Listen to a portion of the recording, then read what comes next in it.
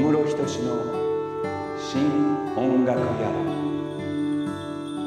この番組は今活躍中のアーティストをゲストにお迎えし楽しいトークとアコースティックライブをお送りする音楽番組です。さあ次回のゲストはシンガーソングライターの伊藤孝夫さん、えー、伊藤さんは1971年に高田渡に呼ばれてスタジオに来い、えー、そして行ってみたらなんと自分の曲を歌わされたという次回伊藤孝夫さん。あの日僕らは